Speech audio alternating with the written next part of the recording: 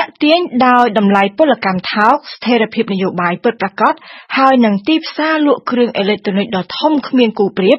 ក្រុមហ៊ុន Apple បានជ្រើសរើសយកប្រទេសចិនសម្រាប់ការផលិតគ្រឿងអេឡិចត្រូនិកមួយភាគធំរបស់ខ្លួន។ ក៏ប៉ុន្តែបាតកម្មតវ៉ាដ៏កម្រកើតមានរបស់កម្មករនៅរោងចក្រផលិតទូរស័ព្ទ iPhone នៅទីក្រុងចុងជើដែលគេដាក់ឈ្មោះថាទីក្រុង iPhone កាលពីខែវិច្ឆិកាកន្លងទៅបានធ្វើឲ្យក្រុមហ៊ុនអាមេរិកកាំងចាប់ចោតសួរពីស្ថិរភាពហើយនឹងលែងចង់ប្រមូលផ្ដុំជំនួញទាំងអស់របស់ខ្លួនតែនៅក្នុងប្រទេសចិន។ បើតាមកាសែតអាមេរិកឈ្មោះថា Wall Street Journal ដែលបានដកស្រង់សម្ដីអ្នកទទួលខុសត្រូវម្នាក់របស់ក្រុមហ៊ុន Apple ក្រុមហ៊ុនកំពុងតែពិចារណាចង់រើលើកយករោងចក្រមួយចំនួនចេញពីប្រទេសចិនតែអ្នកទទួលខុសត្រូវទទួលបន្ទុកសង្វាក់ផលិតកម្មរបស់ក្រុមហ៊ុន Apple ដើម្បីកាត់បន្ថយការពឹងផ្អែកខ្លាំងទៅលើរោងចក្រនៅក្នុងប្រទេសចិនក្រុមហ៊ុនគឺអាចចាប់ដៃគូជាមួយនឹងក្រុមហ៊ុនចិនណាដែលអាចទទួលផលិតគ្រឿងទូរស័ព្ទ iPhone នៅទឹកដីបរទេស។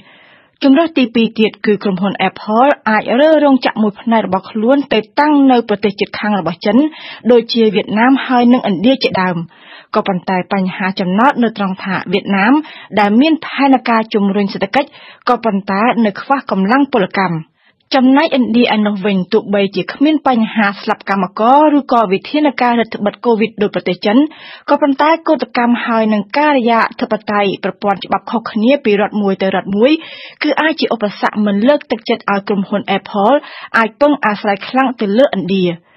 ក្រុមហ៊ុន Apple កំពុងតែសម្លឹងរកមើលជំរើសច្រើនដើម្បីជំនួសរោងចក្រផលិតទូរស័ព្ទ iPhone នៅទីក្រុងជើងជើដែលត្រូវអាក់ខានសកម្មភាពផលិតដោយសារតែបាតកម្មដ៏ធំមិនធ្លាប់មាននៅប្រទេសចិន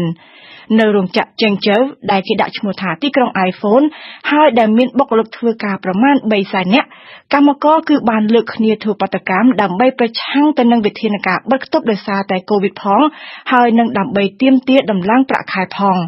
បាតកម្មមួយប្រាវគឺបានធ្វើឲ្យការផលិតទូរស័ព្ទ iPhone នៅរោងចក្រចិនជើមានការយឺតយ៉ាវ អ្នកជំនាញសេដ្ឋកិច្ចបានវិតម្លៃថាក្រុមហ៊ុន Apple គឺត្រូវបាត់បង់ប្រាក់ចំណូលច្រើន ហើយនឹងថាការលក់ទូរស័ព្ទ iPhone របស់ក្រុម Apple